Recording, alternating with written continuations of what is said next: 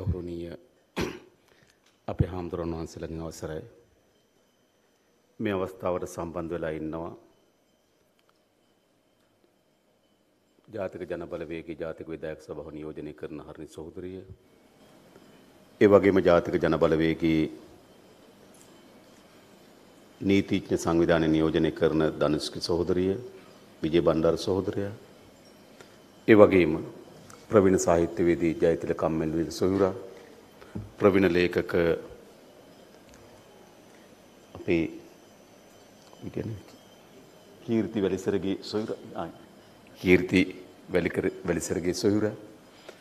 ඒ වගේම අපේ ගායන ශිල්පී සෝමරත්න මැදකර සොයුර. ක්‍රිසාන්ත එරන්දක සොයුර. ඒ වගේම වේදිකාවේ ඉන්නවා මේ කෝට්ටේ ආසන නායකත්ව සපේන අරෝස චතුරංග ඒ වගේම ධම්මික බණ්ඩාර සෝදර නියෝජනය කරන සංවිධායක මණ්ඩලයේ සහෝදරවරුන් සහෝදරියන් විධායක සභාවේ සහෝදර සහෝදරයන් ඒ සියලු දෙනාගෙන සහභාගී වෙලා ඉන්න ආදරණීය අම්මලා තාත්තලා සහෝදරවරු සහෝදරයන් ඇතුළු සියලු දෙනාගෙන් තවසරයි මම හිතනවා මෙතන මොකද අපි කෝට්ටේ විවිධ අවස්ථාවල විවිධ රැස්වීම් වලට සහභාගී වෙලා ඉන්නේ. මා හිතනවා අපි විවිධ අවස්ථාවල විවිධ රැස්වීම් ගණනාවකට සහභාගී වුණත් අද තමයි හරියට කෝට්ටේ දකින්නේ. මා හිතනවා මේ මේ මා හිතනවා මෙතන පිට පෙර විවිධ දේශපාලන ව්‍යාපාරවල සක්‍රීය වැඩ කරපු අය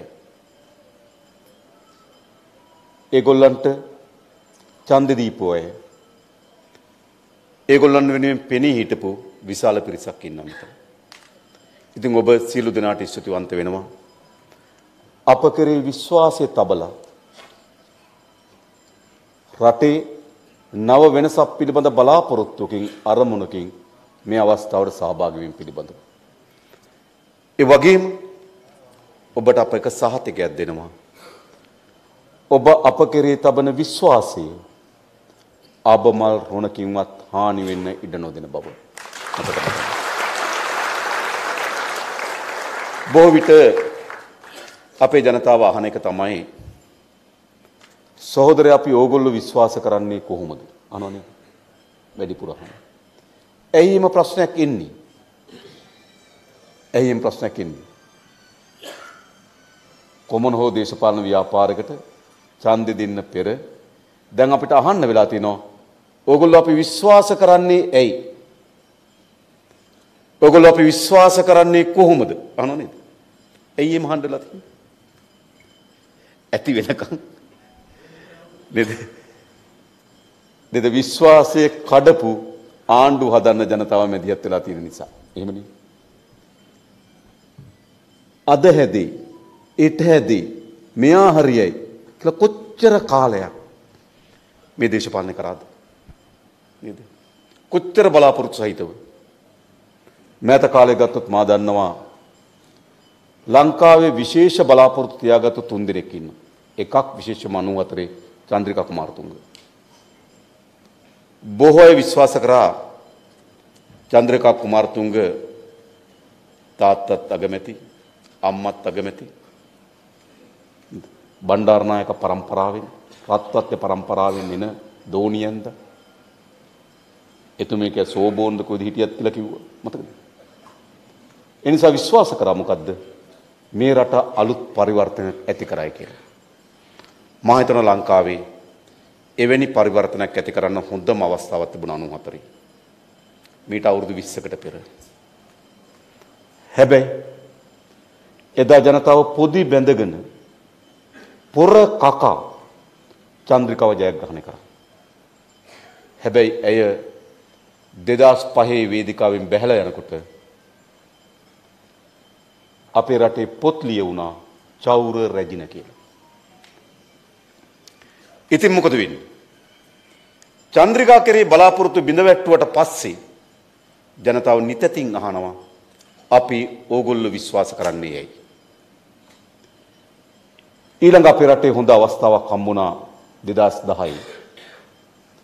අවුරුදු 30ක යුද්ධය අවසන් වුණාට පසුව මොකද අපේ රටේ මතයක් ගොඩනගලා තිබුණා? මේ රට විශාල ප්‍රපාතයකට ඇදලා දාලා තිබෙන්නේ. මේ රටේ ආර්ථික අර්බුද නිර්මාණය කරලා තිබෙන්නේ මේ යුද්ධයේ විසින්. මතකද? මට මතකයි මෛත්‍රීපාල සිරිසේනක වේදිකාවකදී කතා කරලා කිව්වා. මල්ටි බැරල් එකකින් තප්පරයකට උණ්ඩ උණ්ඩ මෙච්චර ප්‍රමාණයක් නිකුත් වෙනවා. විනාඩියකට මෙච්චර ප්‍රමාණයක් නිකුත් වෙනවා පැයකට මෙච්චර ප්‍රමාණයක් නිකුත් වෙනවා ඒ පහේ මල්ටි බැරල් එකෙන් නිකුත් කරන උණ්ඩ වලින් ඉස්පිරිතාලයක් හදන්න පුළුවන් කියලා. ජනතාව හිතුව මොකද්ද? යුද්ධය අවසන් වුණාට පස්සේ අපේ රට ගොඩනගයි කියලා. අන්නේ බලාපොරොත්තුව 2010 මහින්ද රාජපක්ෂට දුන්නා. එහෙමනේ. ජනතාව පොර කකා නේද? සමහර අය කිව්වා යුතුයකම ඉටු කරන්න දෙන්න ඕන කිව්වා. නේද? කළගුණ සලකන්න දෙන්න ඕන කිව්වා. මතකද? හැබැයි මොකද්ද උනේ? 2022 වෙනකොට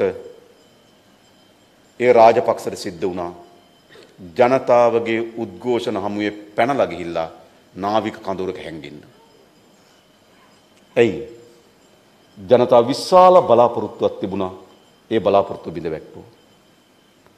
මා හිතනවා ඊළඟ අවස්ථාවේ ගෝඨාභය රාජපක්ෂට කියලා. 2015 ගණන් ගන්න එපා ඒක හයිබ්‍රිඩ් ආණ්ඩුව. සාමාන්‍යයෙන් අපේ ගම්වල කියනවා මේ ගොනයි මීමයි කරත්තේ බඳලා එකට අදින්න බෑ කියලා. මොකද ගොනා අදිනවා ගොඩට මීවා අදිනවා අදිනවා මඩට. ඒ වගේ ආණ්ඩුවක් තමයි 2015 තිබුණේ. මා හිතන්නේ එතන අපිට අවස්ථාවක් තිබුණා කියලා. ඊළඟ අවස්ථාවක් ආව ගෝඨාභය රාජපක්ෂට. මොකද එතෙක් අපේ රට ගමන් කරමින් තිබුණු ගමන් මාවත වෙනස් කරයි කියලා එයා බලාපොරොත්තු වුණා. සාමාන්‍ය කිව්වා සාම්ප්‍රදායික දේශපාලකෙක් නෙවෙයි කිව්වා. දේශපාලන පරම්පරාවකින් ආවට එයා නේද යම් වෘත්තීවේ මේ ආරක්ෂක ලේකම්වරයා හැටියට කටයුතු කරන නිලධාරියෙක් කිව්වා. ඌ අපේ රටේ විනය හදයි, නීතිය හදයි, වංචා දූෂණ නතර කරයි කියලා විශාල බලාපොරොත්තුවක් තිබුණා. හැබැයි මොකද උනේ? 2022 වෙනකොට ජනතාවගේ අපේක්ෂාව බලාපොරොත්තුව මොනතරම් සුන් කරාද කියලා කියනවා නම් ජනතාවට විශාල වේදනාවක් සහ කෝපයක් ආවා. ඒ කෝපය සහ වේදනාව තමයි එහා පැත්තේ මිරියහන හන්දියෙන් පුපුරලා ගියේ මට මතක විදිහට අප්‍රේල් මාසේ පළවෙනිදා නේ 30 දෙසැම්බර් මාර්තු 31 රෑ එහෙමනේ 2022 අවුරුදු. ඇයි? එහෙනම් මොකද්ද ජනතාවට වෙලා තියෙන්නේ? මෑත කාලේ බැලුවොත්. මෑත කාලේ බැලුවොත් ජනතාවට හැම වෙලාවම සැකෙන් බලන්න සිද්ධ වෙලා තියෙනවා. එහෙනම් අපි විශ්වාස කරන්නේ අපි ඔබට එක සහතිකයක් දෙන්න.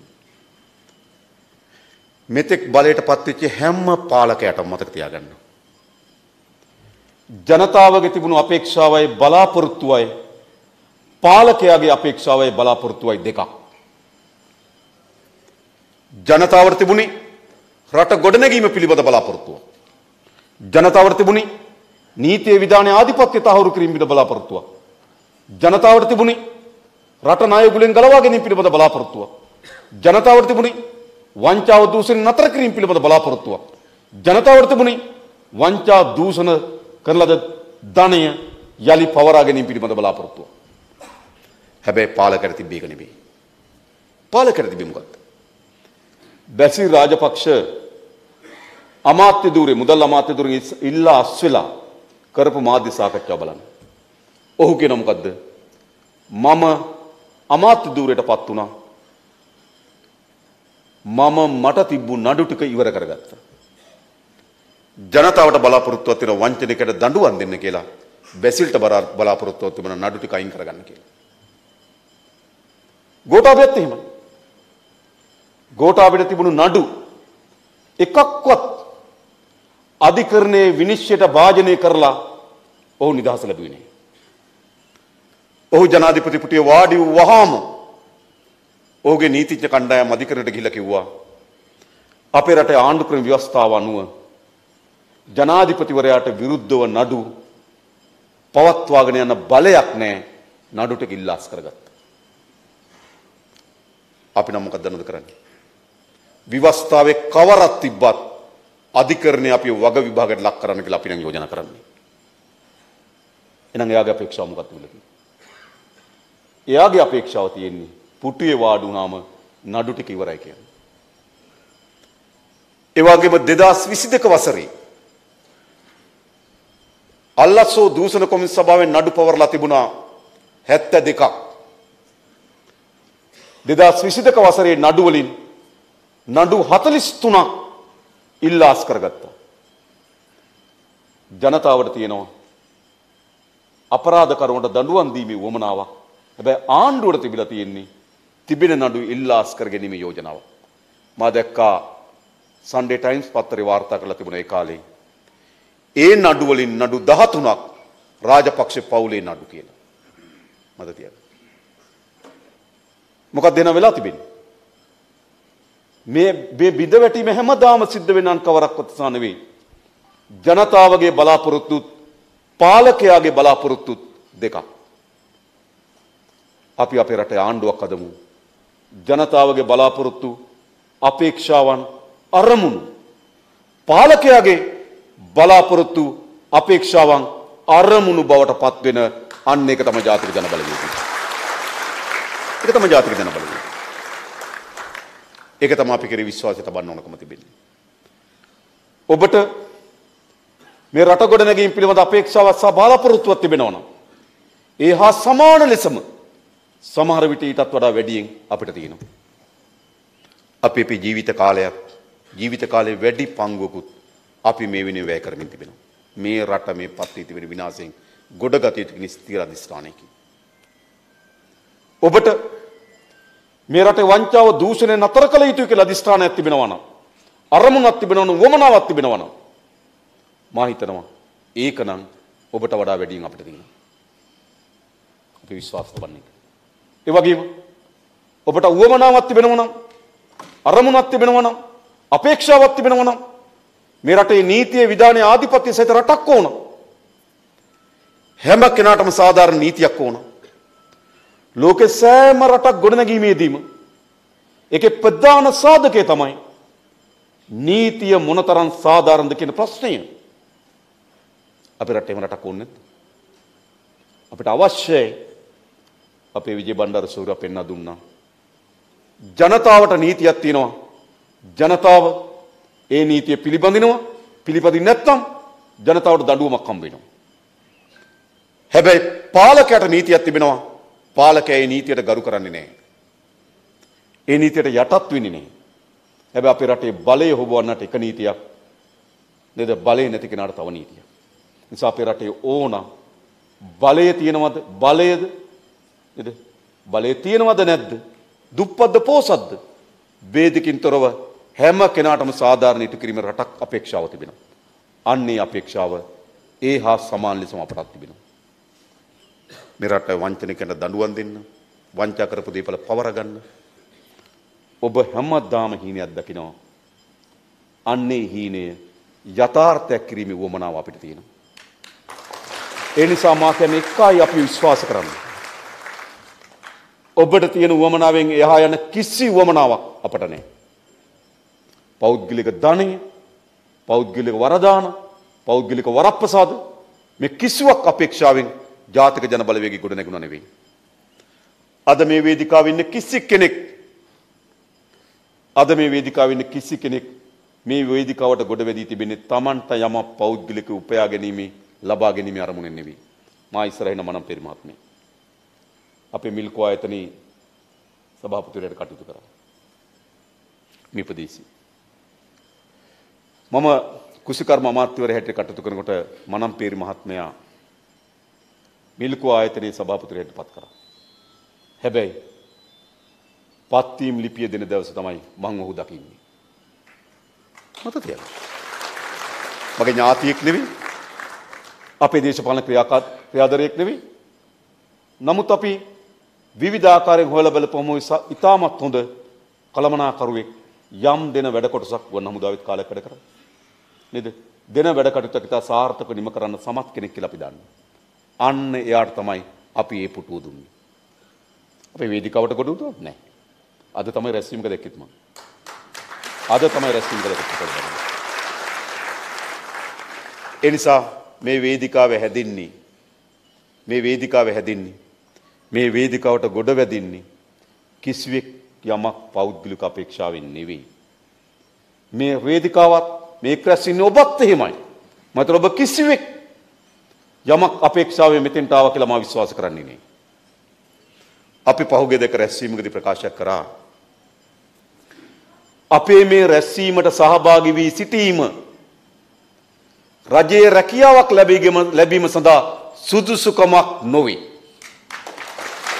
වරායට පෙට්‍රෝලියම් එකට විදුලි බල මණ්ඩලයට සුදුසුකමක් නෙවෙයි. අපි කියන පුළුවන් නම් අනිත් ඕනෑම දේශපාලන ව්‍යාපාරයක වේදිකාවක මේ කතාව කියන්න බලන්න. පොල්මල පොළොවේ ගෙහුවා වගේ. හරිද? එහෙම ව්‍යාපාරයක් ඕනේ නැද්ද අපේ රටට? අන්න එහෙම ව්‍යාපාරයක් තමයි ජාතික ජන බලවේගය. මේ රට මේ පත් වී තිබෙන අර්බුදයෙන් ගොඩ ගොඩ ගැනීම පිළිබඳව ජනතාව විශ්වාසය තැබිය යුතු ව්‍යාපාරය මේක. එනිසා අපි තවත් පොඩි සැකයක් තියෙනවා එක පාරක් කරමු. ඇතිනේ මේක එක පාරක් කරමු. මේ වැඩේ සාර්ථකව නිමා කරන්න පුළුවන් කියලා අපිට විශ්වාසයක් සහිතව අපි ඇවිල්ලා තියෙනවා. ඇයි අපිට එහෙම කරන්න ඕන වෙලා තියෙන්නේ? දැන් සමහර අය හිතනවා මේ ඇති වී තිබෙන ආර්ථික අර්බුදය සමනය වුණා කියලා. නැහැ. ඒක සමනය වෙලා නැහැ. එන්නන මේ අර්බුදය තව තවත් තීව්‍ර වෙමින් වර්ධනය වෙමින් තිබෙන තත්ත්වයක් තිබෙන්නේ. ආර්ථිකයේ කඩාවැටීමක් තිබෙනවා අර්බුදයක් තියෙනවා. ඒක එක එක දොරෙන් එළියට එනවා. පහුගිය අවුරුද්ද එළියට ආවේ මොන දොරින්ද? තෙල් නැහැ, ගෑස් නැහැ, විදුලිය නැහැ. ඒ දොර වැහුවා. ඊට පස්සේ වෙන දොරක් කරනවා අර්බුදයෙන්. මොකද වෙන්නේ? ඉස්පිරිතාලවල බෙහෙත් නැහැ, විශ්වවිද්‍යාල විශ්වවිද්‍යාලවල ආචාර්යවරු නැහැ. නේද? අධ්‍යාපනයට වියදම් කරන්න විදියක් නැහැ. බාල බෙහෙත් ගේනවා. තව දොරකින් පුපුරනවා. අර්බුදය ඇතුලේ මෝර මෝර වර්ධනය වෙනවා. අර දොර ඇරෙන්න දෙන්නේ නැහැ හොඳේ. මොකද තෙල් ගෑස් විදුලිය දොර ඇරෙන්න දෙන්නේ ඇයි? ඒක ඇරුණොත් රනිල් වැඩේ කනවා කියලා ඔලුවට එනවා. ඒ දොර ඇත්ති තරම් වහලා තියෙන්නේ. ඒ නිසානේ මතක තබා ගන්න. ඒ නිසා තමයි කුඹුරු අක්කර 65000 ඔන්න මෙන්න මැරෙන්න. හැබැයි සමනල ජලාශي වතුර දුන්නේ. ඇයි සමනල ජලාශයෙන් ඒ කියන්නේ බලංගොඩට පහලින් අපිට විදුලිය ජනනය කරන මධ්‍යස්ථාන තියෙන සමනලයි හැරි ජයවර්ධනගේ නේද ඇඹිලි පිටිය ප්ලාන්ට් එකයි විතරයි වෙන නැහැ. එතකොට මොකද වෙන්නේ අපිට? දකුණු තීරයට අපිට මෙහෙන් එන විදුලිය ගෙන යන්න පුළුවන් මතුගම දක්වා. මතුගමෙන් එහාට පොඩ්ඩයි තල්ලු කරන්න පුළුවන්. ඊළඟ බලංගොඩින් මෙහාට පොඩ්ඩයි තල්ලු කරන්න පුළුවන් හම්බන්තොට පැත්තට. එතකොට මොකද වෙන්නේ? ජලාශය වතුර කුඹුර වලට දුන්නොත් දකුණේ විදුලිය කපන්න වෙනවා. පැය දෙකක්. එතකොට මොකද වෙන්නේ? එහෙම වුණොත් ආ රනිල් ලයිටුත් කපන්න පටන් ගත්තා. අර දොරක් ටිකක් ඇරෙන්න පටන් ගත්තා. නෑ ඒක සීල් තියලා වහනවා. වහලා මොකද කරන්නේ? වහලා ගොවි ජනතාවට වතුර නොදී ඉන්නවා. අක්කර 65000ක් හරිද? ගොයම පිදුරු බවට පත් වුණා. තව ඕන ලක්ෂ පහනෙන් ගේන්න තිබුණා. ඒක මම අමුතු කතා. ලක්ෂ පහනෙන් ගේන්න තිබුණා. නේද? හැබැයි ඒක මොකද වෙලා තිබුණේ? අර තේවත්තක් මැදි මීටර 650ක් අදින්න බැරුව හිර වෙලා තිබුණා. එතන ලින්ක් කරා නම් හම්බන්තොට විදුලිය ගේන්න පුළුවන්. ඒව කරන්න ගියත් නෑ. මැරෙන්න ඇරියා. දැන් ඔබ හිතන්න ගොවි ජනතාවගේ ජීවිතයත් එක්ක බැඳුණු කුඹුර අපි හැමදාම කියන කුඹුර කියන්නේ ඔහුට ආදායම් මාර්ගයක් විතරක් නෙවෙයි. ගොවියාගේ කුඹුර කියන්නේ මොකද්ද? ගොවියාගේ කුඹුර කියන්නේ ඔහුගේ ජීවිතය. කුඹුර අහාලා නේද? වී වැපුරුවට පස්සේ ගොයම් බොඩ එළියට එන එකට ඔයගොල්ලෝ සතුටු වෙනවා. ඒක නුල්ල පූදිනකොට ගොවියාගේ මූණේ හිනාවක් එනවා. ඒකේ කිරි වදිනකොට ගොවියා තවත් සතුටු වෙනවා. බණ්ඩි පූදිනකොට කරලා නැමෙනකොට ගොවියා සතුටු වෙනවා. හැබැයි සියල්ල විනාශ කරනවා. ඇයි? මේ දොර අරගන්න දෙන්න බෑ. හැබැයි කුඹුරු විනාශ වෙනවා. ඉදිකිරීම් කර්මාන්ත කඩා වැටෙනවා. තරුණ තරුණයට අලුත් රැකියාවක් නිර්මාණය වෙන්නේ නැහැ. කිසි රැකියාවක් නිර්මාණය වෙන්නේ නැහැ. වයි ඉස්පිරිතාලවල වෛද්‍යවරු හිගියක් ඇති වෙලා තිබෙනවා. විශේෂඥ වෛද්‍යවරුන් ඉන්නන 4299ක්. ඉන්නේ 2007යි.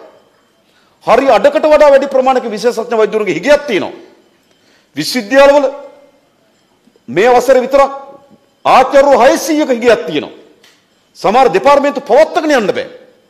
හැබැයි මේ දොර අර වැහෙන්න දෙන්නේ. ඇරෙන්න දෙන්නේ. ඒක මම කියන්නේ. ඒ නිසා අර්බුදය වර්ධනය වෙමින් තිබෙනවා. මම තව උදාහරණ කිහිපයක් කියන්නම්. අපි දන්නවා අර්බුදයේ සමනය වෙමින් තිබෙනවා මොකද වෙන්න ඕනකම තිබෙන්නේ.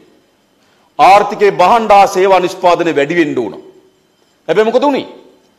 මේ 2023 පළමු කාර්තුවේ ආර්ථික වර්ධනයේ වේගය ඍණ 11.5යි. 2022 පළමු කාර්තුව කීයද? ගෑස් නැති, විදුලිය නැති, තෙල් නැති ගිය අවුරුද්දේ පළමු කාර්තුවේ ආර්ථික වර්ධන වේගය ඍණ 0.5යි. රනිල්ගේ ආර්ථික සැලසුම ඇතුලේ ආර්ථික වර්ධන වේගය ඍණ 11.5යි. අපි මෑත කාලේ මේ ආසියාවේ කිසිදු රටක එවැනි ආර්ථික කඩාවැටීමක් දැක්කේ නැහැ. ආර්ථික වර්ධන වේගය අඩු වෙනවා කියලා කියන කුමක්ද?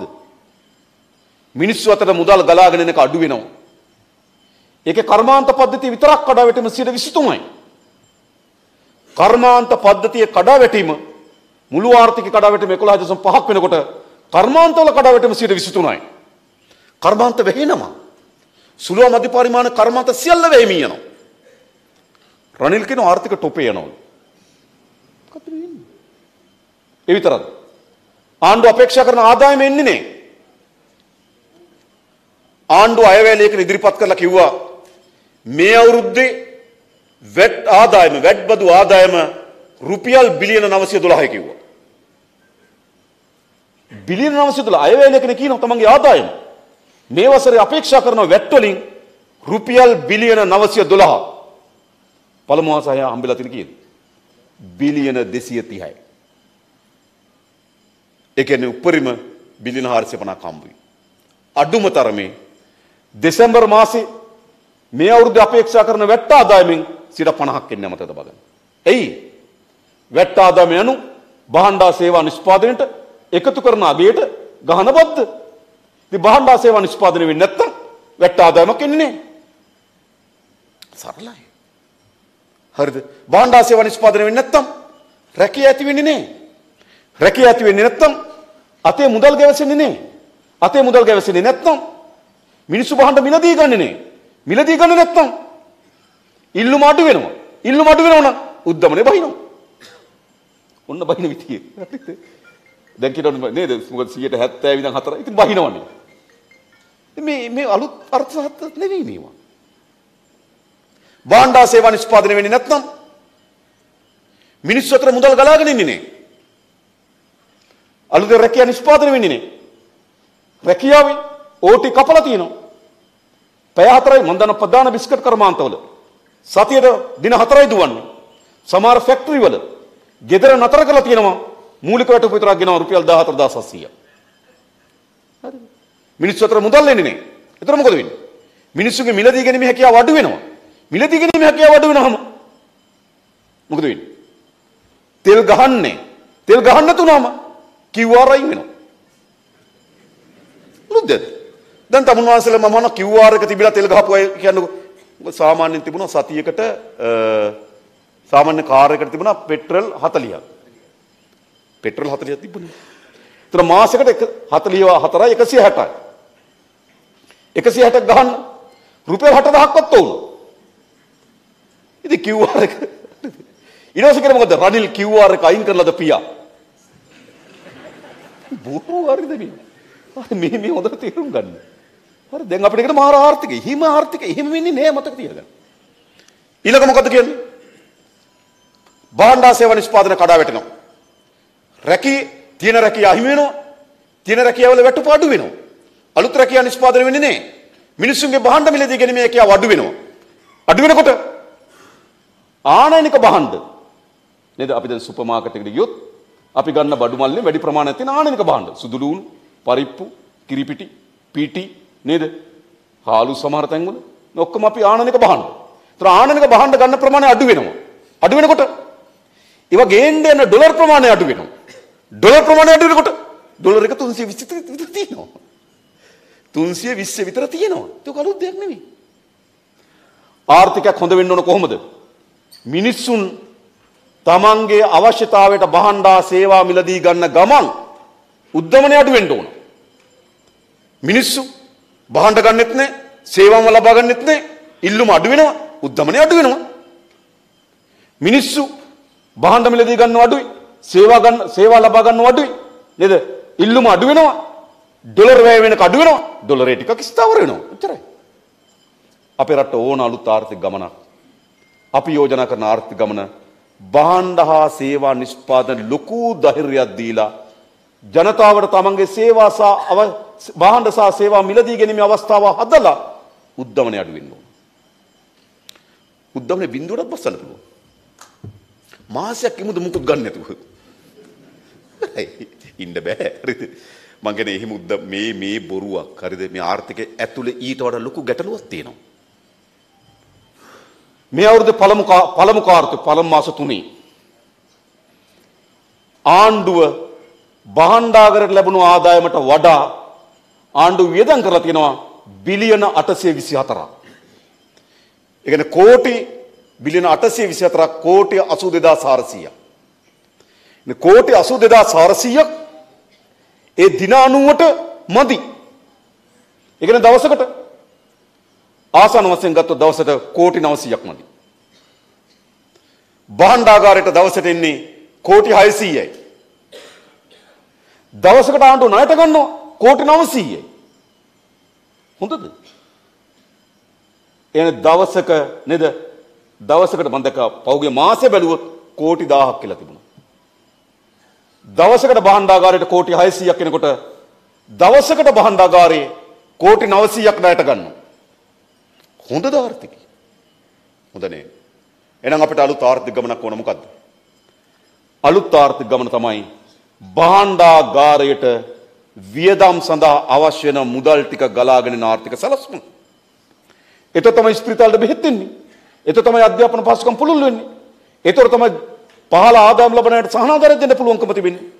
එතකොට තමයි තෙල් මිල අඩු කරන්න. මොකද තෙල් වලින් අද මම මේ අලුත් වැඩිවීම ගැන වැඩි වෙන කලින් පෙට්‍රල් 92 348ට තියෙන වෙලාවේ පෙට්‍රල් ලීටර එකක් කොළඹ වරායෙන් බානකොට රුපියල් 212යි. පෙට්‍රල් ලීටර එකක් ඒ කියන්නේ මැද පෙරදිර රටක නේද?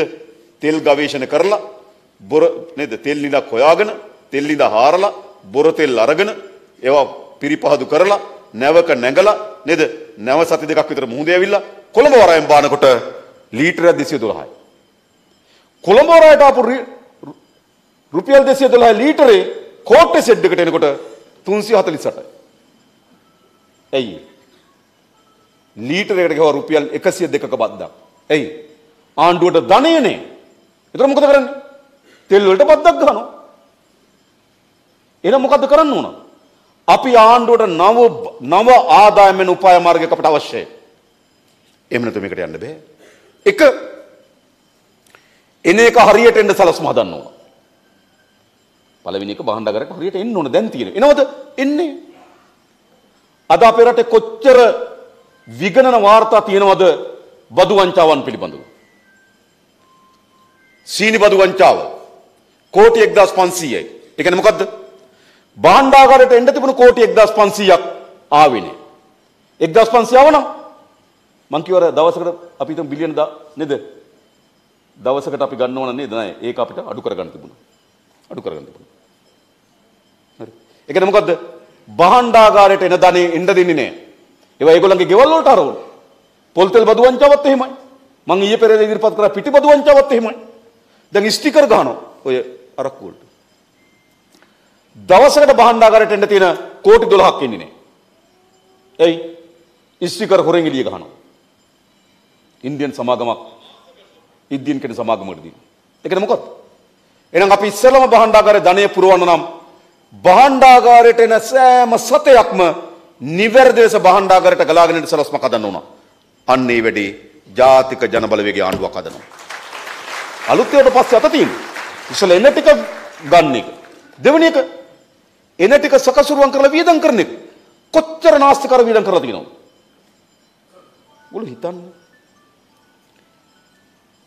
පොහොර ඩොලර් මිලියන 6.3ක් වැය කරලා ඉන්දිය මේ මේ චීනෙන් ගෙනාවා කාබනික පොහොර එක ඇටයක් බෑවෙන ඇටයක් කෙනවට වඩා නේද? එක කූඩයක් පස්නේ ගෙනාවා. කසලන ගෙනාවේ නේද? එක කූඩයක් බෑවෙන්නේ. මොකද කරේ? අපි සල්ලි ගෙව්වා. අපි සල්ලි ගෙවුවනේ. ඒක බහණ්ඩාගාරෙන් ගෙවන්නේ. ඉතින් හිගයක් ඇති වෙන්නේ නැද්ද? ඊළඟ නැනෝ පොහොර ගෙනාවා. හරි නැනෝ පොහොර ගෙනාවා. දැන් ලීටර මිලිලීටර 500 බෝතල් 50000කට වඩා වැඩියෙන් ගොඩ ගාලා තිනවා සැප්තැම්බර් මාසයේ අග වෙනකොට කල් පිරෙනවා. සල්ලි ගෙවලා. ඉතින් ප්‍රශ්නයක් වෙන්නේ ඒ කියන්නේ මොකද්ද? එකක් භාණ්ඩාගාරයට එන සල්ලි ටික එන්නේ නැහැ. දෙක භාණ්ඩාගාරයට එන සල්ලි ටික නාස්ති කරනවා. ඔන්න ඕක පළමු පියවර අපි බේරනවා. දෙවන පියවර අලුතින් භාණ්ඩාගාරයට ධනෙ එන්න නව භාණ්ඩා සේවා නිෂ්පාදනය ආරම්භ කරන්න ඕන. එහෙම නැතුව භාණ්ඩාගාරයට ධනෙ එන්නේ නැහැ. කොච්චර නේද මේ ආර්ථිකයට කොච්චර බදු ගෙවුවත් බදු වැඩි කරන්නකො එන්නේ නැහැ. දැන් වැඩ බද 8 තිබිලා දැන් 15 කරන්න මේ අවුරුද්දේ. 8 තියෙනකොට ආවේ බිලියන 456 ගිය අවුරුද්දේ. 15 කරනකොට 230 නේ මුල් මාස ආයේ. නේද? ඊළඟ මාස ආයේ 230ක් આવුත් 460යි.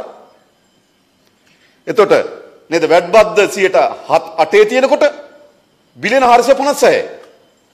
වැඩ බද්ද 15 කරනකොට බිලියන 460යි. වැඩක් තියෙනවා. ඉතින් බදු කොච්චර වැඩි කරත් භාණ්ඩාගාරයට ධනෙ ඉන්නේ නැහැ ඇයි? බඩු වැඩි කරනකොට ජනතාවගේ පරිභෝජන හැකියාව අඩු වෙනවා. ඒවා මිලදී ගන්න ප්‍රමාණය අඩු වෙනවා. අඩු වෙනකොට ඒ පැත්තෙන් කැපෙනවා. ඔකනේ වෙන්නේ. එහෙනම් මොකද කරන්න ඕන?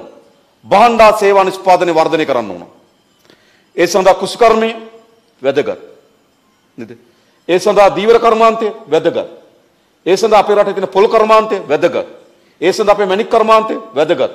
ඒ සඳහා අප්‍රිකානු කලාපයට අවශ්‍ය වන භාණ්ඩා සේවා නිෂ්පාදනය කිරීම වැදගත්. නව නිෂ්පාදන ප්‍රවේශයකට ආරම්භ කරන්න නැතුව භාණ්ඩාගාරයට ධනෙ ගින්න බෑ. අන්නේ වැඩේ අපි කරමු. හරිද? එතකොට භාණ්ඩාගාරي සල්ලි පුරව ගන්න පුළුවන්. දෙවෙනි අරුබුදය අපිට තියෙන මොකද්ද? දෙවෙනි අරුබුදය අපිට තියෙන්නේ එකක් ආණ්ඩුවට රුපියල් නැහැ. දෙක රටට ඩොලර් නැහැ. ඔකනේ ප්‍රශ්න දෙක. ඩොලර් උපය ගන්න මොකද කරන්නේ? ඉස්සරලම අපේ මේ ඩොලර් වැය වෙන එක අඩු කරගන්න ගොඩක් දේවල් තියෙනවා. අපි විතර ගෙනවා පිට රටින්. නේද? මම දැක්ක ඊයේ කැබිනට් මණ්ඩලේ මේ කැබිනට් මණ්ඩලේ තීන්දුවක් කරන් තිබුණා. විතර මිලියන 92ක් නේ. මිලියන 92ක්. විතර ගෙන තීරණය කරන් තියෙනවා. හිතන්න. හරිද? එතකොට ඒ සඳහා ගලාගෙන යන මොනවද? ඩොලර්. දැන් ඉන්දියාවෙන් බිත්තර ගේන්නේ නේද? ඉන්දියාවෙන් බිත්තර ගේලා අඩුවට දෙනවලු. අපේ බිත්තර වැඩි ගණන්. දැන් අපිට මොකද්ද මෙහෙන් නේද කොහෙද? උඩුබද්දාව කුලියපිටිය පැත්තෙන් බිත්තරයක් කෝට්ටට එනකොට රුපියල් 58යි. ඉන්දියාවෙන් බිත්තරයක් එනකොට රුපියල් 35යි. කියන්නේ ඉන්දියාවේ කිකිලියෝ දෙක දාන දවසකට දෙක ගන්න දානවද නෑ. ඇයි? ඒක කාර්යක්ෂම කරලා තියෙනවා. ඵලදායීතාවය වැඩි කරලා තියෙනවා. නිෂ්පාදන පිරිවේ අඩු කරලා තියෙනවා. කොහොමද අඩු කරලා තියෙන්නේ? ඉන්දියාව කුකුල් කර්මාන්තයට අවශ්‍ය වෙන බෙහෙත් නිෂ්පාදනය කරන්න ඉන්දියාව. අපි ඒ බෙහෙත් ඉන්දියාවෙන් ගේනවා. ඉන්දියාව කුකුල් කර්මාන්තයට අවශ්‍ය වෙන ආහාර නිෂ්පාදනයේ බඩිරිඟු සෝයා බෝංචි ඇතුළු ආහාර නිෂ්පාදනය කරන්නේ ඉන්දියාව. අපි ඒවා එහෙන් ගේනවා.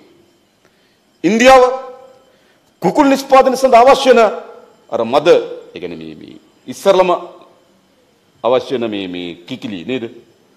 ඒ කිකිලි පැටව. ඒගොල්ලෝ හදනවා. අපි මද කිකිලි පැට ඒ කියන්නේ අර ඒ ඒ කිකිලි පැටව අපි ගේනවා හොඳේ. හරිද? අපි ඒ කියන්නේ ඒ කිකිලි පැටවගේ බිත්තර අරන් ඒ බිත්තර වලින් පැටව දෙන්නේ අපි. හැබැයි මුල් පැටව අපි ගේනවා. ඉතින් මොකද කරන්නේ? ඖෂධයක් ගේනවා. මව් පාර්ශවයත් ගේනවා. නේද? කණ්ඩක් ගේනවා. එක අතකින් බිත්තරක් කියන එක නරක නෑ. ඉතින් බිත්තර. ඒ කියන්නේ මොකද්ද? අන්න එතකොට අපි ඩොලර් ගලාගෙන යනවා. එහෙනම් මොකද කරන්න අපිට අපේ රටේ කළ හැකි නිෂ්පාදනයක් තියෙනවා. ඒ නිෂ්පාදනයට වේගවත් සැලැස්මක් හදන්න ඕන. මේ බිත්තර මස් ප්‍රශ්නේ අවුරුද්දක් යන මත්තෙන් විසඳිය හැකියි. විසඳිය හැකියි. මේ අලුත් මේවා මැජික් නෙමෙයි උන්දේ. මේවා මේ උඩු බද්දාවේ ගොවි මහත්තයෙක් කිව්වොත් එයා වැඩේ කරලා දෙනවා. අවශ්‍ය කරන පහසුකම් ටිකයි, ආහාර ටිකයි, ඖෂධ ටිකයි, පැටව ටිකයි සපයන එක විතරයි වැඩේ තියෙන්නේ. මොකද අපිට අවශ්‍ය වෙන මස් පිටර නිෂ්පාදනය කරපු කර්මාන්තයක් තිබුණා. අවශ්‍ය වෙන කූඩු තිබුණා. රැක බලා ගැනීම තිබුණා. තාක්ෂණය තිබුණා. මේ නැති වෙච්ච එකක් නෙවෙයි. අන්න අපිට වළක්වන්න හදන්න පුළුවන්. අපි කරවල ගේන්න නඩුල ප්‍රමාණය අපිට අඩු කරගන්න පුළුවන්. අඩු කරන්න නතර කරගන්න පුළුවන්. අපි මත්ස්‍ය නිෂ්පාදන ගේන ප්‍රමාණය නතර කරගන්න පුළුවන්. දොළ ගලාගෙන යන එක නතර කරන්න අපි ගොඩක් තැන්වල හාල් ගේනවා. නතර කරන්න. හදන්න පුළුවන්. ඒ නිසා අපේ එක සැලැස්මක් තමයි ඩොල එළියට යන එක වැළැක්වීම සඳහා ඖෂධ විශාල ප්‍රමාණයක් අපිට ඖෂධ නිෂ්පාදනය කරන්න පුළුවන්. අපි හදන්න ඕන.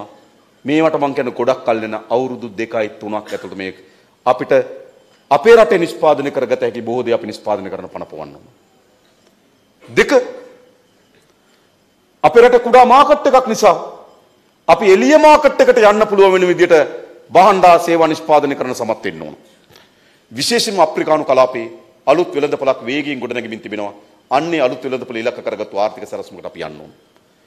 එතකොට අපි වැය වෙන ඩොලර් ප්‍රමාණය අඩු වෙනවා. ලංකාවට ගලාගෙන එන ඩොලර් ප්‍රමාණය වැඩි වෙනවා. මේ දෙක තමයි අපි මුහුණ දෙන ප්‍රධාන ආර්ථික අර්බුද දෙක. ආණ්ඩුවට රුපියල් නැහැ, රටට ඩොලර් නැහැ. ওই දෙක විසඳා ගැනීම සඳහා ඉතා කෙටි කාලයකට කරන්න පුළුවන්. ඊට පස්සේ ඊට පස්සේ රට ඉතින් එහාට ගෙනියන්න ඕන. ඒ පවතින එක ගේන්නනේ. ඊළඟ මොකද කරන්න? කාර්යක්ෂම රාජ්‍ය සේවයක් හදන්න ඕන. අද අපේ රටේ රාජ්‍ය සේවය පිළිබඳ කිසි කෙනෙක් තෘප්තිමත් නැහැ. තෘප්තිමුත් නෑ. අපි හැම කෙනාම අද රජයේ කාර්යාලයකට යන්න කලින් හොයන එක මොකද්ද? දන්න කෙනෙක් ඉන්නවද? මං හිත પાස්පෝර්ට් කාර්යාලයට යන්න ඉන්නවා. දන්න කෙනෙක් ඉම නැද්ද? මෝචරිටියත් එහෙමයි. මෝචරිටියත් එහෙමයි.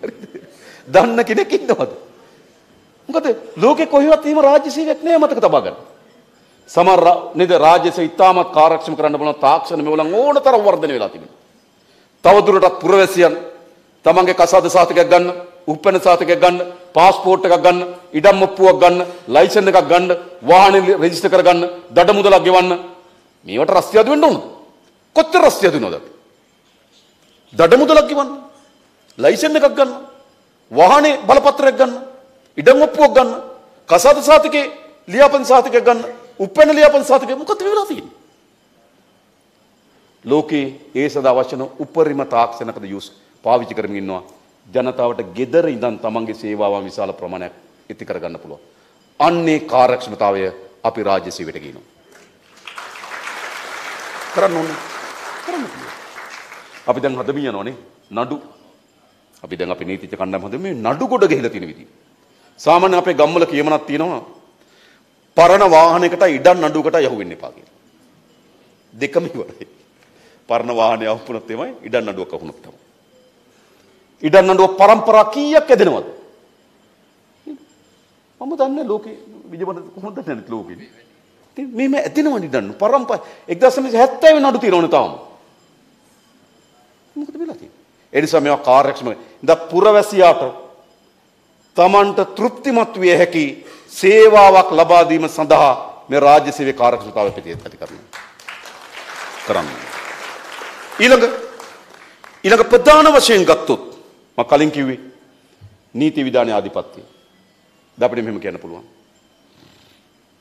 ජාතික ජන බලවේගයේ කිසිවෙක් අතින් වරදක් සිදුවිය නොහැකිද? මොකද කියන්නේ? සිදුවිය හැකි. හැබැයි මොකද වෙන්නේ? එය අපේ පක්ෂද අපේ තනතුරුවක්ද නොබලා එයාට නීති හමුවට පමුණුවා කියන සහතිකේ රටේ ගොඩන ගන්න ඕන. ඒකයි වැදගත්කම තියෙන්නේ. අපේ හිටිය පාර්ලිමේන්තු මන්ත්‍රීවරු 39 දෙනෙක්. 39 දෙනා ඉන්න වෙලාවේ කෑගල් අපේ මන්ත්‍රීවරයා ජපානයට තරුණයෙක් කරන් ගියා. ආවා. ඊයේ දාලා අද ආවා. කවුරුත් දන්නේ නැහැ. ගෙදර නෝනවත් දන්නේ අපි හොල බලනවා. දැනගත්තේ පක්ෂ විතරයි. පත්තරේ ගියාද? නෑ. කවුරුවත් දැනගත්තද? නෑ. අපි කිව්වා පහෝදා ඉල්ලාස් වෙන්න කියලා. අඩුම තරමේ ඉල්ලාස් වෙනකොට මේ മന്ത്രി දුර අපේ පක්ෂයටවත් හම්බෙන්නේ නෑ. මොකද අපි සන්දානෙන් ඉල්ලපු වෙලාවේ ඒකට තමයි මාවනැල්ලේ ලලිත් දිසානායක ආවේ ආණ්ඩුවේ. හරි. ඒ කියන්නේ මොකක්ද? මිනිස්සු ස්වභාවික මිනිස්සු අතින් අතපසුවීම වැරදි සිදුවිය හැකියි. සිදුවිය හැකියි.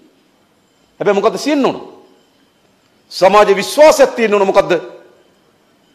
එයා දරන තනතුර එයා පක්ෂයේ මෙහෙම කෙනෙක්. ඒ නිසා නීතිය නම් ක්‍රියාත්මක වෙන්නේ නැහැ කියලා මතයක් සමාජෙ නොතිබිය යුතුයි. අද තමුන් වහන්සේලාට සහතිකයක් තියෙනවා. වාහනයක් අපේන කවුරු හරි බලනකොට ඇමතිගේ ගෝලී. මොකද එකපාර ඔලුවට එන්නේ. පොලිසිය නම් ගිහිල්ලා වැඩක් නැහැ. රවිගේ ගෝලයානේ. එන්නේ ඉඩමක් අල්ලගෙන තියෙන මර්වින් නැවිල්ල ඒ කාලේ. මතකද? ඉතින් ඇල්ලුවා ඒ කාලේ නේ. ඒතර මොකද හිතෙන්නේ? නඩු ගිහිල්ලා වැඩක් නැහැ. මර්වියාගේ ගෝලී. එහෙම නෙවෙයි. නීතිය කෙරෙහි ජනතාවගේ විශ්වාසය ශක්තිමත් කරන්න ඕන. ශක්තිමත් කරන්න නම් නේද? තරාතිරම නොබලා නීතිය හැම කෙනාටම සාධාරණ ක්‍රියාත්මක රටක් අපි හදලා දෙන්න. ඒ වැඩේ අපි කරනවා. හරිද? අපිට අපිට බේරගන්න අපරාධකාරයෝ නෑ. අපිට ඉල්ලාස් කරගන්න නඩු නෑ. මතක තබා ගන්න. අපිට නඩු නෑ. දැන් ඔය කියනවනේ අපිට එක එක වගේ මම පස්සේ කියන්නම් කියන. හරිද? අපිට ඒව නඩු නෑ. නඩු නෙවෙයි අපිට පැමිණිල්ලක පොලිස්පතිනේ මත දෙන්න.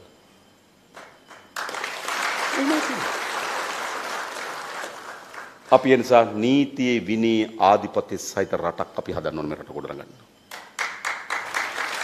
ඒ නිසා මම හිතනවා සාමාන්‍යයෙන් අපි ඉගෙන ගන්නවා කරුණු දෙකක් මෙහිම කරුණක් ඉගෙන ගන්නවා මේ සමාජයේ වෙනසක් සිද්ධ වෙන්න හේතු දෙකක් සම්පූර්ණ වෙන්න ඕන. එක ජනතාවට තවදුරටත් සුපුරුදු පරිදි ජීවත් වීමට නොහැකි වීම. මොකද හිතෙන්නේ? ජනතාවට තවදුරටත් සුපුරුදු පරිදි ජීවත් වීමට නොහැකි වීම. පුළුවන් සුපුරුදු පරිදි ජීවත් වෙන්න. දරුවට අවශ්‍ය කරන ආහාර වේලා කරන් දෙන්න. ලෙඩක් හැදුනොත් Tamanට අවශ්‍ය වෙන බෙහෙත් හේත් ගන්න. Tamanට කැමති විනෝද ගමනක් යන්න. පවුලේ හොඳ උත්සවයක් ගන්න. මගුල් ගෙදරකට හොඳ සාරියක් කරගෙන ඇඳගෙන යන්න. තියනවද? ජනතාවට තවදුරටත් සුපුරුදු පරිදි ජීවත් වීමට නොහැකි වීම. ඒක වෙන්න ඕන එක.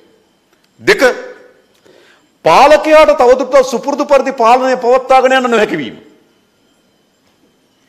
මොකද වෙලා තියෙන්නේ? පාලකයට පරණ විදියට යන්න බෑ. යන්න බෑනේ. පරණ විදිය නේද? එන කොටාගත්තු අය එකට වාඩි වෙන්න වෙලා තියෙනවා. නේද?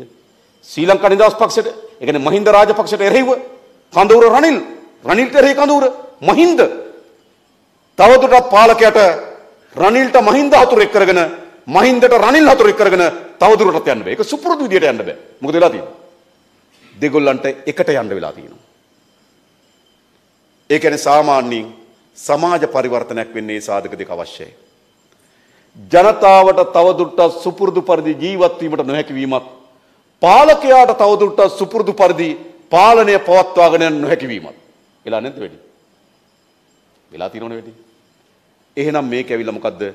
සමාජ පරිවර්තනය සඳහා තිබෙන හොඳම අවස්ථාව. හැබැයි ඒක නෙලා ගන්නවද නැද්ද කියලා තීරණය කරන්නේ අපි. ගන්න පුළුවන් මොකද කියන්නේ? ගන්න පුළුවන්. හැබැයි ගන්න සමත් වෙන විදියට වැඩ කරනවද නැද්ද කියලා තීරණය කරන්නේ අපි. වෙනද? වෙනද? ජනතාවට සුපුරුදු පරිදි ජීවත් වෙන්න බෑ. හැබැයි පාලකයට සුපුරුදු පරිදි ආණ්ඩු කරන්න පුළුවන්. අපි කොච්චර try කරත් ඉන්නේ. try කරන්නේ. 2005ද 10ද 15ද 19 23යි. එන්නේ. හැබැයි දැන් අවස්ථාව ඇවිල්ලා තියෙනවා. හරි මෙච්චර කාලයක් ඒගොල්ලෝ රැකගෙන හිටියේ කොහොමද උක? දැන් මේ රටේ හොරකම් වෙන බව අදද දන්නේ? නැ කලිනුත් දන්නවා. මේ රටේ මේගොල්ලෝ නීතියට ගරු කරන්නේ නැති බව අදද දන්නේ? කලිනුත් දන්නවා. මේගොල්ලෝ රටේ විශාල ණයකන්තක් අරගෙන මේ රට ණය කරන බව අදද දන්නේ? කලිනුත් දන්නවා. මේ රටේ මහා නේද ප්‍රතිඵල නොවන ව්‍යාපෘති හදන බව අදද දන්නේ? කලිනුත් දන්නවා. මේගොල්ලෝ මහා පෞල් පාලනයක් ගෙනෙන බව අදද දන්නේ? කලිනුත් දන්නවා. එහෙනම් ඒගොල්ලෝ හිටියේ කොහොමද? කලින් දන්නවනේ. එහෙනම් හිටියේ කොහොමද? හිටියේ ඒගොල්ලෝ මේ ප්‍රශ්න වෙනුවට වෙන ප්‍රශ්න හැදුවා. මේක මේ පාලක විතර නෙවෙයි සුද්ධත් එහෙමයි. සුද්ධත් මොකද කරේ? නේද සුදු අධිරාජ්‍යවාදයේ Tamanට එරෙහිව ජනතාව නැගිටිනකොට මොකද කරන්නේ? ඒගොල්ලෝ ජනතාව බෙදනවා. සිංහල දෙමළ මුස්ලිම් බර්ග මැලේ කියලා. ඉතින් රාජ මන්ත්‍රණ සභාවට විවස්ථා සභාවට නේද ජන කොට්ටාසයන් අනුව ගන්නවා. එහෙමනේ. ඒ විතරක්ද? උඩරට පහතරට කියලා බෙදුවා. 1848 නැගිටීමේදී ඒ ප්‍රධාන නායකයන් දෙන්නේ බවට පත් වුණේ ගොංගාලේ ගොඩබණ්ඩයි වීරපුරන් අප්පුයි. හැබැයි ඒ සම එදා ඒ සමාජයට හද ප්‍රධාන මතය මොකද්ද? ගොංගාලේ ගොඩබන්න යනු පෑලියකොට ඩේවිට්ටිය පහතරට මිනිහි. වීර පුරන්නප්පු යනු පෑලියකොට ෆ්‍රැන්ස් මොකද මේ මොරටුවේ ප්‍රැන්සිස්සිය. හරිද? ඔහොම නැදුවේ. එතන මොකද කරේ? උඩ රට මිනිස්සු එහෙම බැලුවා පහතරට ආයේ තමයි මේකේ නායකත්වය දෙන්නේ. නේද? ඊට පස්සේ මොකද කරේ? නේද? මං හිතන්නේ මැණික්රාලගේ දුව බැන්දා උඩ රටින් ගොංගාලේ කොට බණ්ඩා නේද? ඊට පස්සේ බණ්ඩාර මැණික කියන කෙනා බැන්දා වීරපුරන්න. ඒත් හරියන්නේ නැහැ දඹුල්ලේදී. මේ ගිරාගම විමල ජෝති නායක හාමුදුරුවෝ මොකද කරේ? ඔටුනු පැලැන්දුව ගොංගාලේ කොට බණ්ඩට. ඒක පහත රටයක් නායක වෙලා තිනකෝ. දැන් ඩිංගිරි වලටත් නේ හංගුරංකිත ඩිංගිරි වලටත් තනතුරු දෙන්න සුදුම. එදා සුද්දා මොකද කරේ? බෙදලා පාලනය කරා. 1912 දී ලංකාවේ විශාල දුම්රිය වැඩවර්ජනයක් වෙනවා. මේ දුම්රිය වැඩවර්ජනයකට එංගලන්තෙන් කණ්ඩායමක් කරන මේ දුම්රිය වැඩවර්ජන උනේ ඇයි කියලා හොයන්න. බලනකොට දුම්රිය දෙපාර්තමේන්තුවේ සිංහල අනුපාතය වැඩි.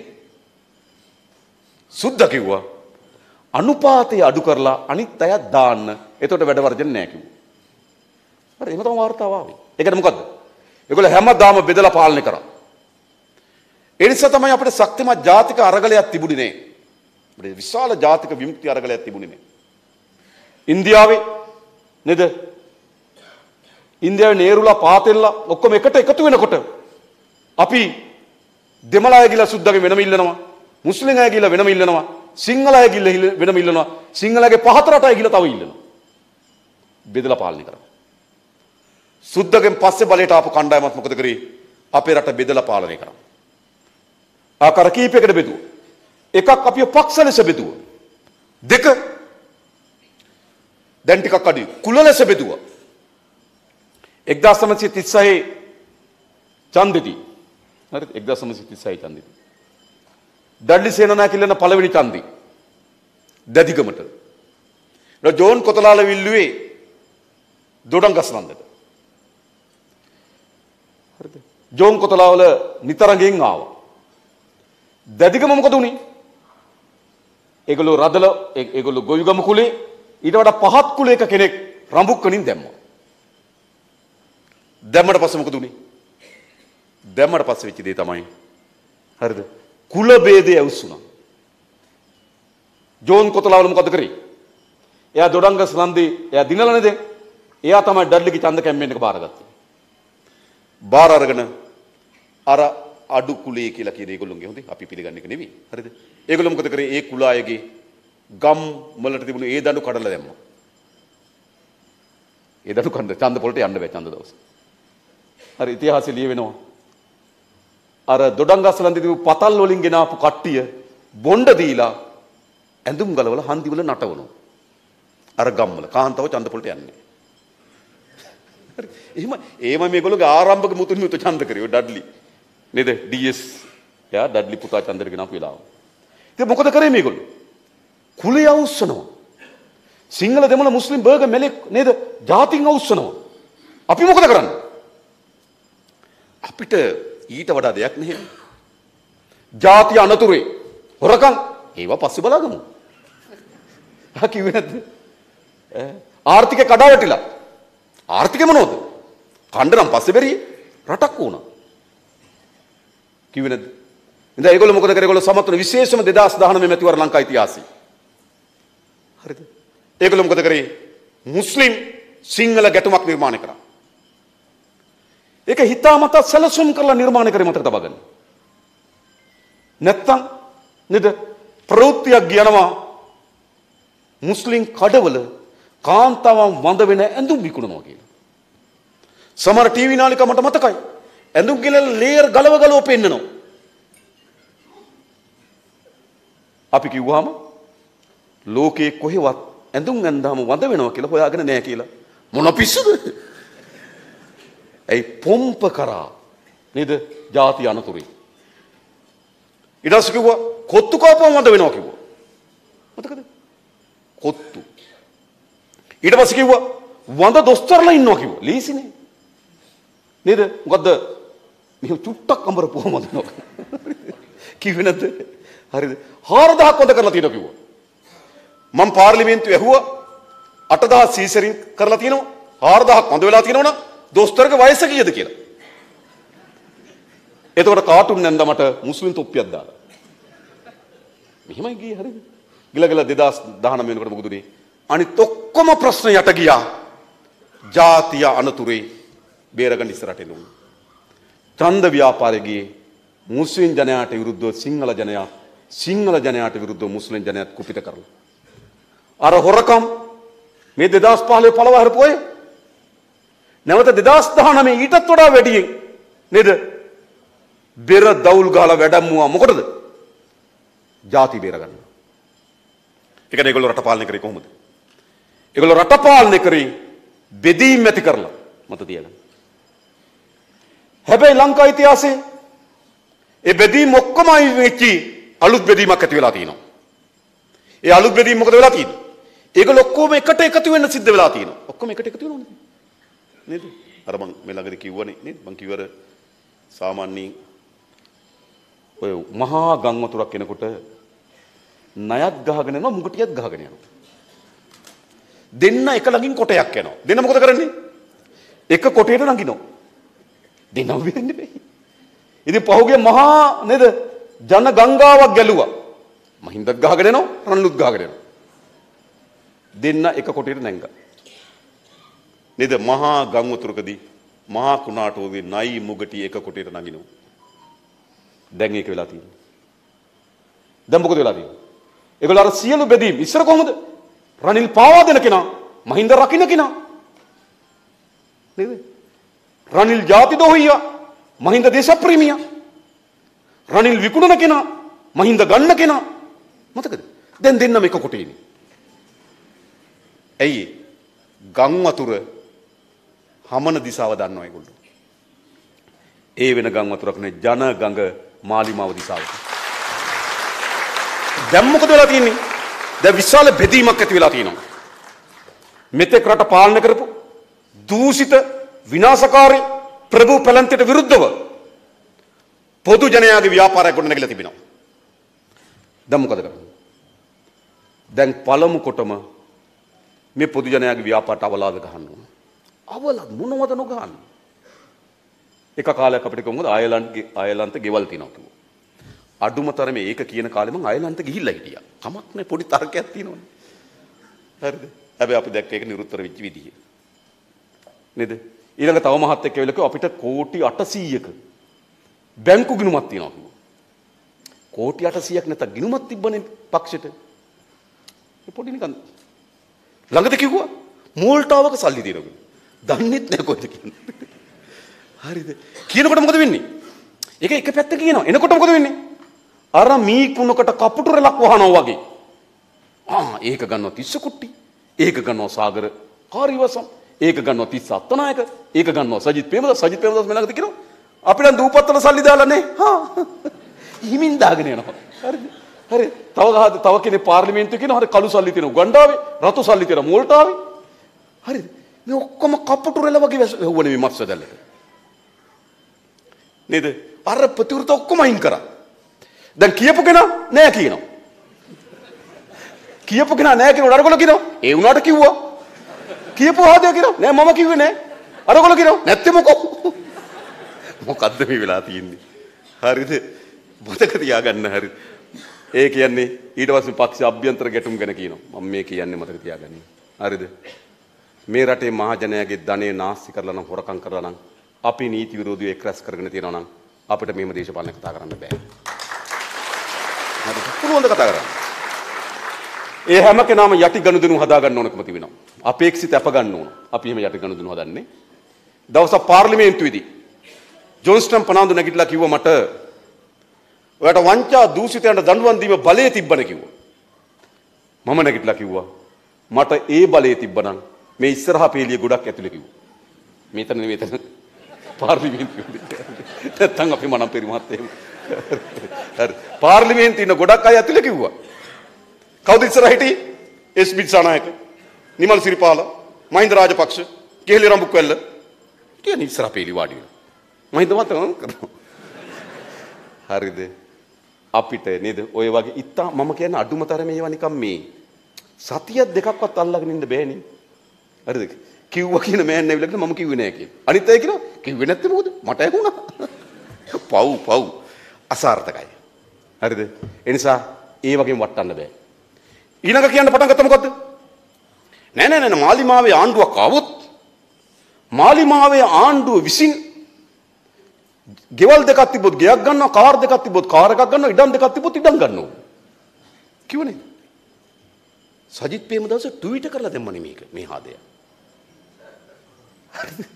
අපි ලෑන්ඩ් සේල් කාරයෝ ඉඩම් ගන්න කාර් සේල් කාරයෝද අපි මේ කාර් සේල් එකක් දාන්න දෙනවා ඉන්ද්‍ර ට්‍රේඩර්ස් නෙමෙයි මතක තියාගන්න. හරිද අපි හදන්නේ මොකද්ද? මේ රටේ ආර්ථිකය කඩා වැටලා තියෙනවා. නීතියක් විනයක් නැති රටක් ගොඩනැගිලා තිබෙනවා. නේද? සමාජ අස්ථාවර වෙලා තිබෙනවා. අපරාධ වැඩි වෙලා තියෙනවා. ලෝකෙ ඉස්සර අපකීර්තිමත් රටක් ගොඩනගලා තිබෙනවා. ලෝකෙ අපේ රට පිළිගන්නේ නැහැ. කිසි රටකට අපිට යන්න වීසා එකක් දෙන්නේ නැහැ. දිනමද? වීසා එකක් ගන්න පුළුවන්. වීසා එකක් නෙවෙයි මම දන්නවා මේ කොරියන් තානාපති කාර්යාලයෙන් වෙලාවක් ගන්න නැහැ හරිද මාස 7-8 වීසා නෙමෙයි වීසා ඇප්ලිකේෂන් එක බාර දෙන මාස 7ක් යනවා අපි ගණන් ගන්නෑ ලෝකෙ. කොහෙද ගණන් ගන්නේ? මම දැක පත්තරේ තිබ්බා එංගලන්තයට ගියාලු පොලිස් නිලධාරීන් 8 දෙනෙක්.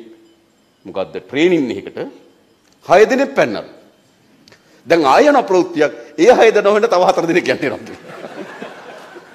කවුද මේ? මම කියන්නේ හරිද?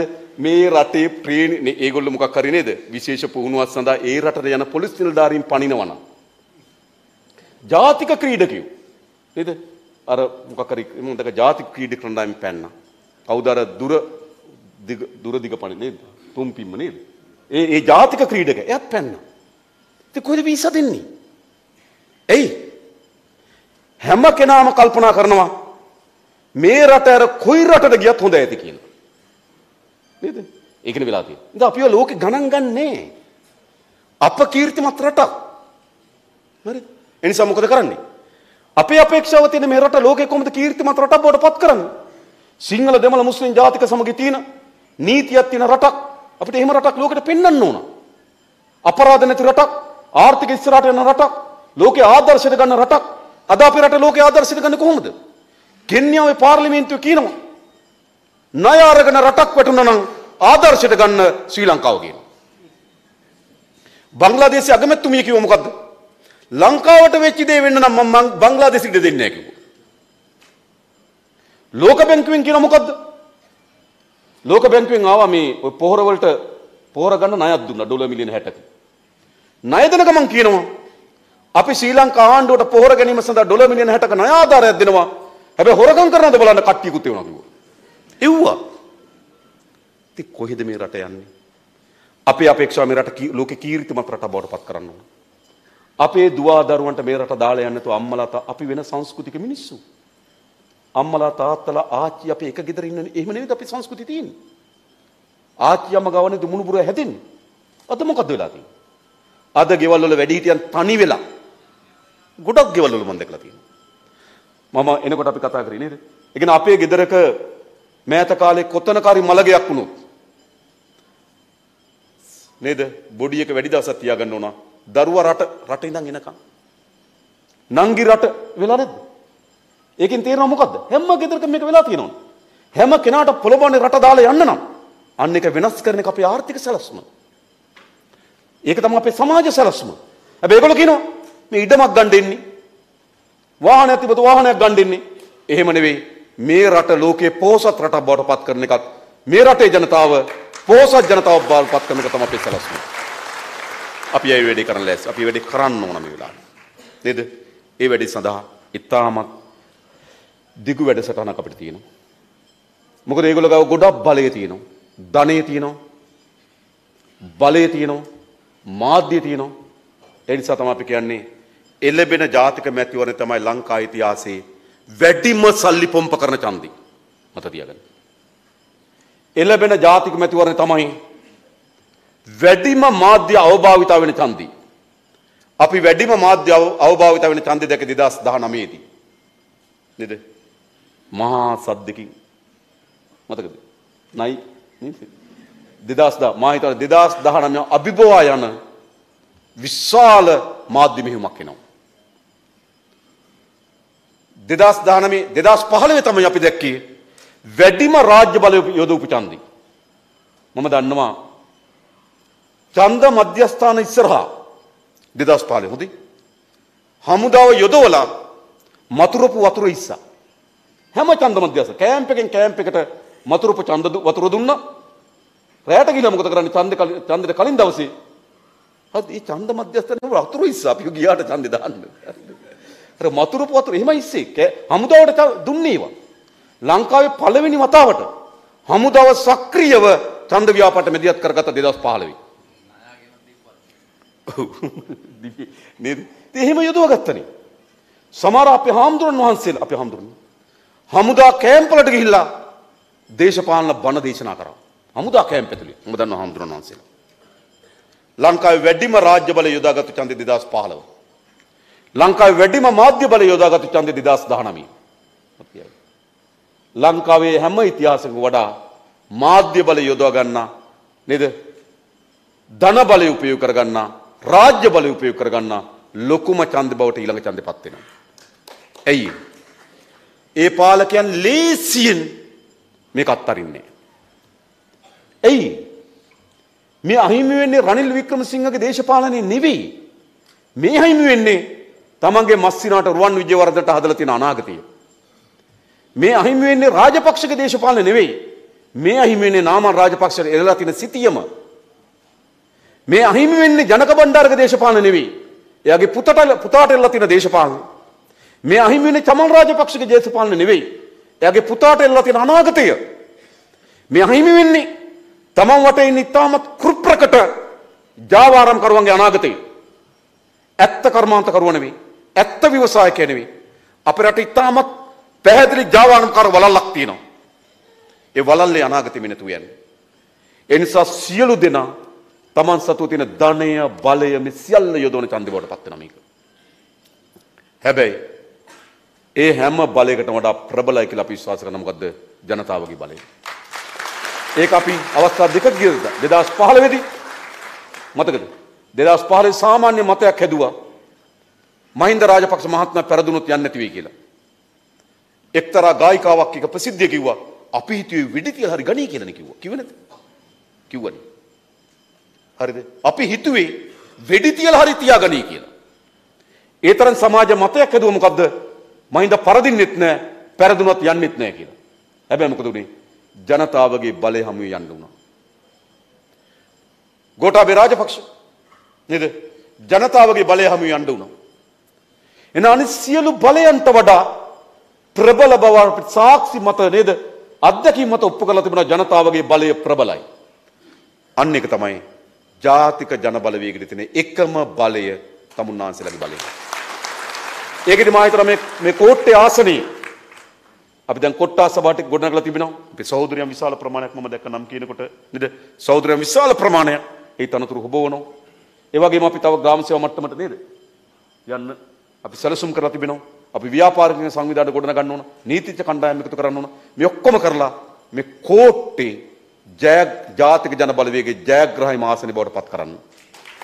ඒ වෙනුවෙන් අපේ සංවිධායක මණ්ඩලයටත් අපේ විධායක සභාවටත් මෙතෙන්ට එක් රැස් වෙලා ඉන්න අපේ සහෝදර සහෝදරයන් සිළු දෙනාටත් නේද මැදිහත් වෙන්න එකතු වෙන්න කියලා ආරාධනා කරමින් මම නතර වෙනවා. බොහොම ස්තුතියි හැම දෙනාට ජය වේවා කියලා ප්‍රාර්ථනා කරනවා.